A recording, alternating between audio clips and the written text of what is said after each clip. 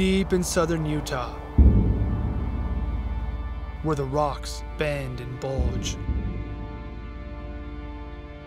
a remote mountain range rises above the arid earth. Skirted with pinyon juniper woodland, draped in aspen,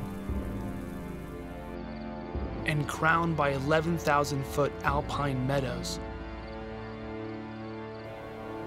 The Henry Mountains beckon as a floating oasis in the desert, a green island in the sky.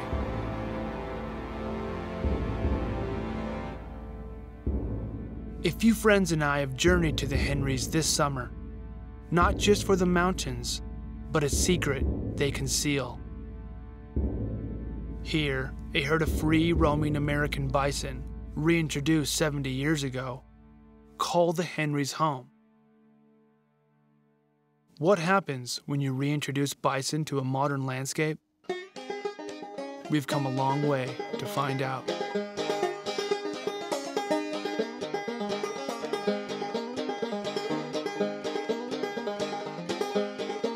The story of the Henry Mountains bison reintroduction begins 300 years ago when 30 million bison roamed the United States. Then came the pioneers pushing west, followed by the cavalry and the railroad. Slaughtered for meat and forced off their native range, the last wild herds were decimated by hide hunters selling bison skins for profit back east.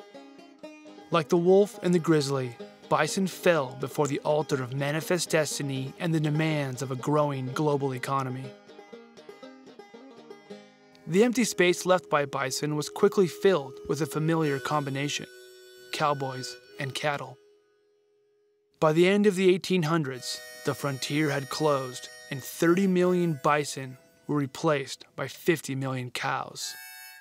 Only a few wild bison hung on. Congress created Yellowstone National Park in 1872, the first major conservation act of its kind. In the refuge of these protected boundaries, wild bison would begin their recovery. In 1902, 24 bison occupied Yellowstone. Now, over 4,000 populate the park. Today, the Yellowstone herd is still restricted to the park's boundary bison that wander outside of this invisible line are rounded up, placed in pens, and tested for diseases that can be transmitted to cattle. Those that test positive are sent to slaughter. Montana cattlemen and state officials, in an effort to protect the state's livestock industry, legally insist upon this practice. I lived in Yellowstone National Park 10 years ago and watched one of these bison roundups. I saw their eyes bulge with fear as riders pushed them into pens. It was then that I began researching, looking for a herd of American bison that still roamed free from fences and annual roundups. I only found one.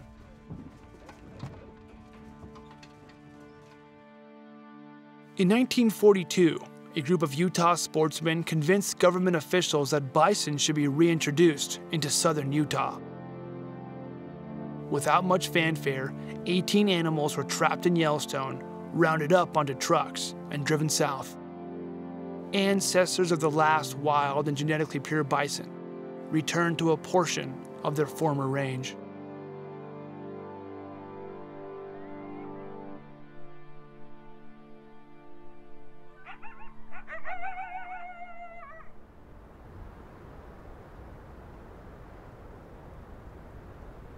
Today, the Henry Mountains bison herd freely roams over 385,000 acres.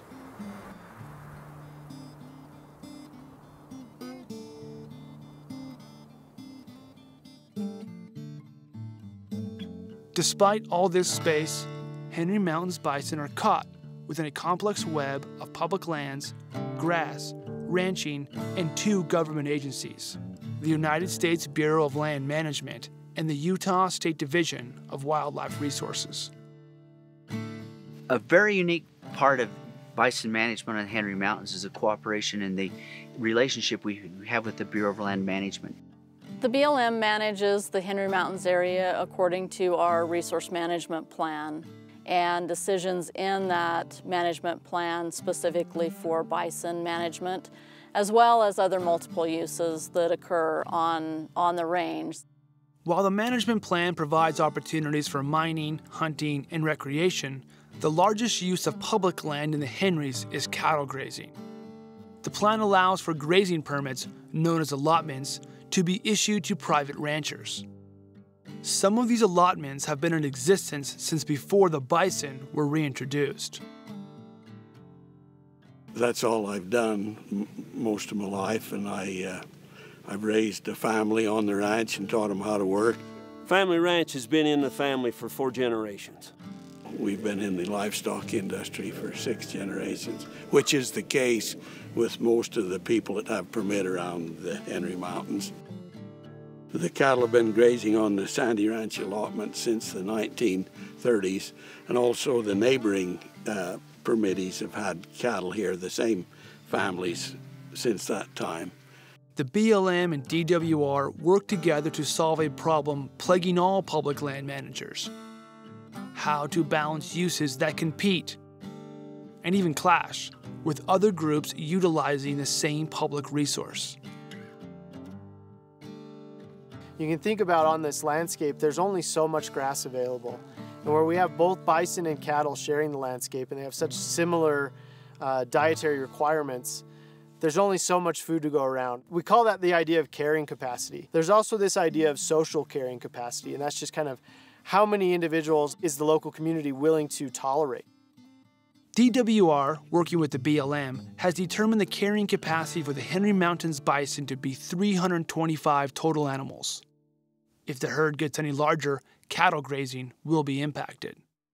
This number was established during an intense public negotiation process in 2007. Sportsman groups, ranchers, and community leaders all provided input. Some folks wanted even more bison. The ranchers did not. To monitor the population size, DWR commissions a helicopter each August for an aerial bison count. Based upon how many bison they find, the state issues once in a lifetime hunting tags to bring the population back down to 325 animals.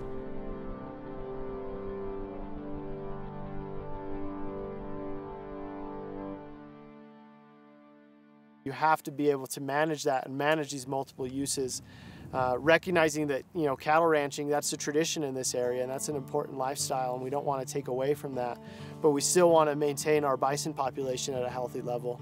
And so you're trying to find a balance of these kind of ecological and social carrying capacities, and hunting is the main tool to to keep these populations in check most any other bison population in the world, the bison are rounded up annually and, and herded into pens just like cattle and, and often sold at auctions or culled. Uh, and that's just a really unnatural state for a wild animal like a bison to be in. You know, these are not just shaggy cows and we can't necessarily treat them as such. If you're going to have bison free ranging on public land, which is the model, the, the best model for the ecological restoration of bison, you have to have a way to control the population. If we didn't have hunting as a tool to manage bison on the Henry Mountains, we probably couldn't have bison here. Whether you like hunting or not, organized sportsman groups and lawmakers creating policy on their behalf have a long record of preserving both habitat and species. In the Henry Mountains, sportsmen have indirectly created a unique outcome wild, free roaming bison in a country largely devoid of them.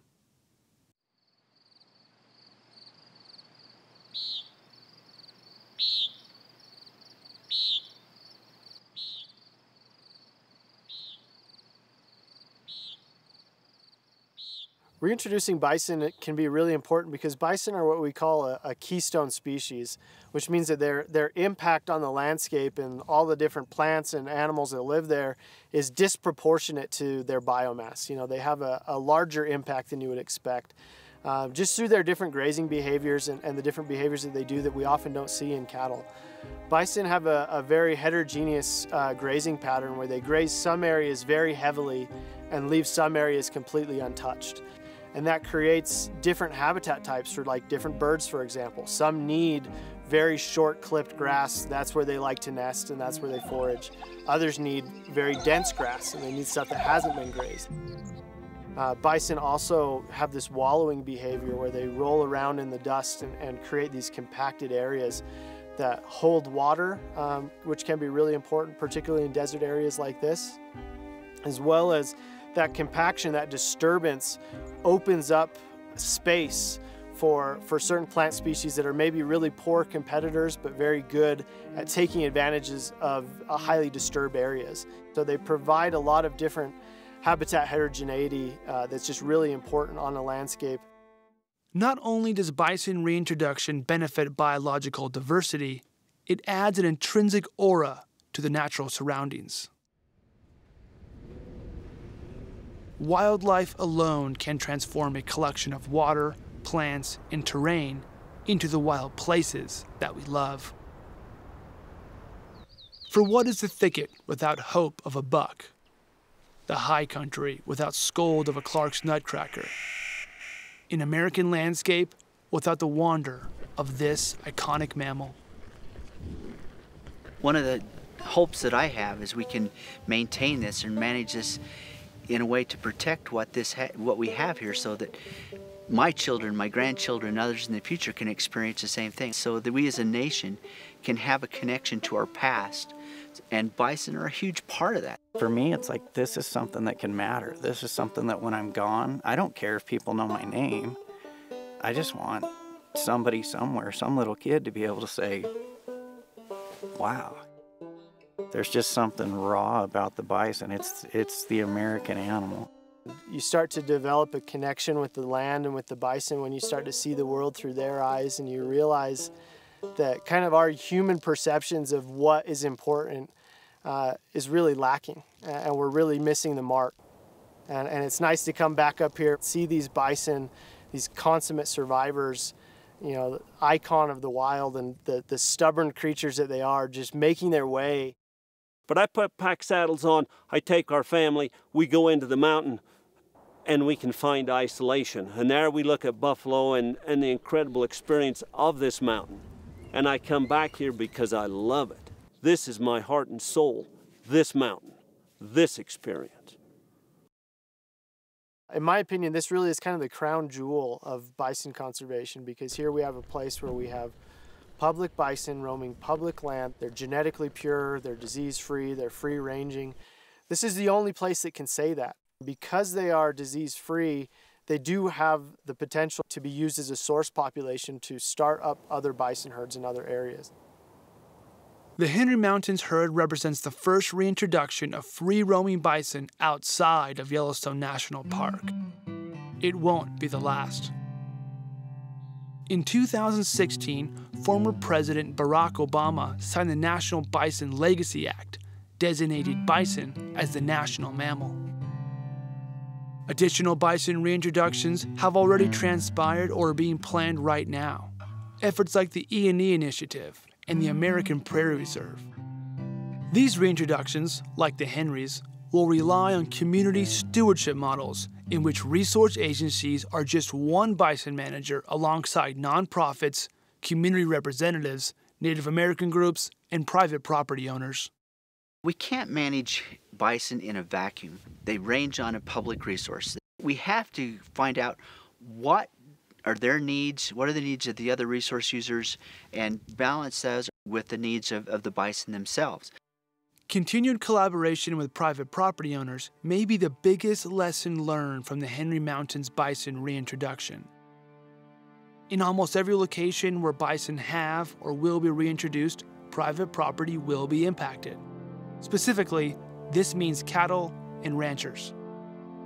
Even now, 10 years after the population size establishment, bison foraging patterns have changed, and the cattle ranchers are growing frustrated.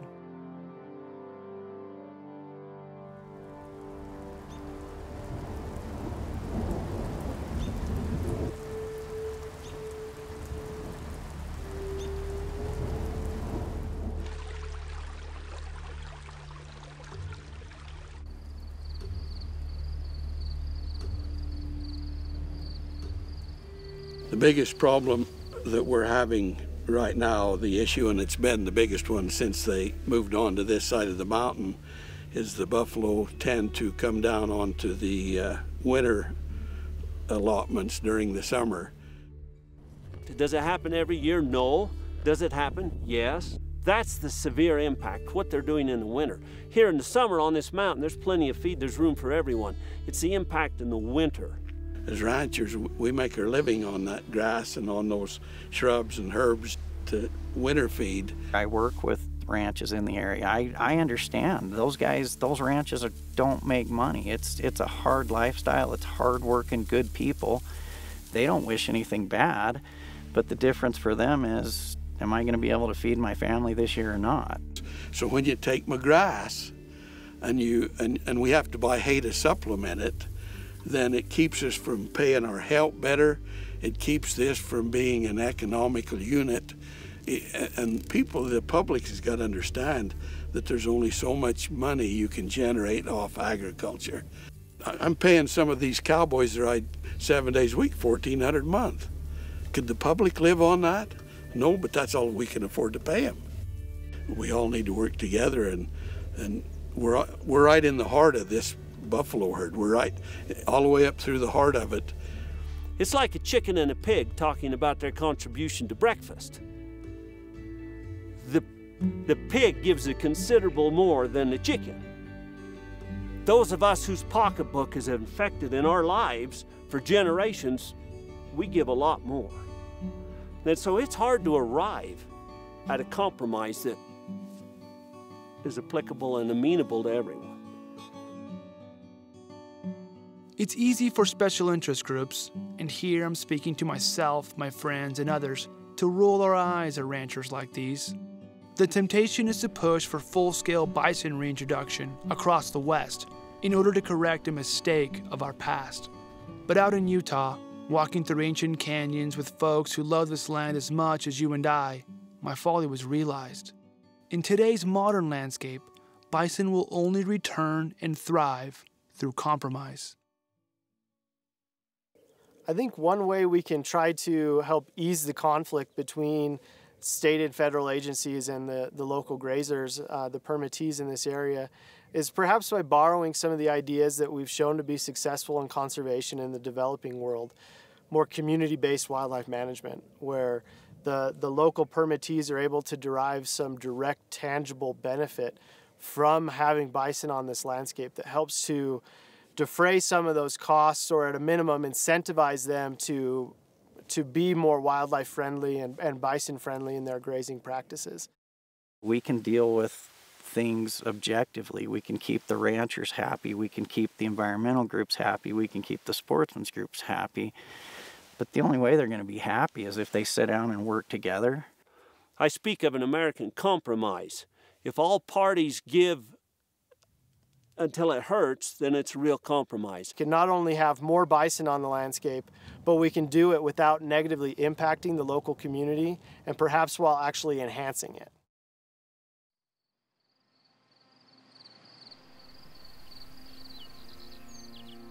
Our time spent in the Henrys has made one thing clear bison and private interests can coexist. This arrangement needs to be refreshed from time to time, and new compromises must be reached. This will not be an easy task, nor one accomplished by pro bison interest groups acting alone. Scientific research, transparency of government agencies, and continued inclusion of livestock operators within the public process are necessary if wild bison are given the chance to belong. More than just proving bison reintroduction is possible, the Henry Mountains example has forged the foundation of what could become a new American ideal. For over a century, 10 gallon hats, saddles, and spurs have been celebrated American symbols. And with good reason, too, for the cowboy embodies values that many of us hold dear hard work, rugged individualism, and a continuation of the frontier spirit, the taming of a continent.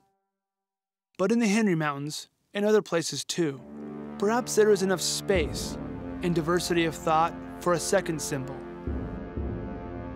the bison.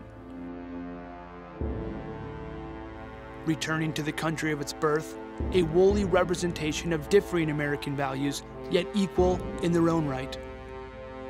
Perseverance, public land, compromise, and a living reminder of all that once roamed wild and free, and still could again.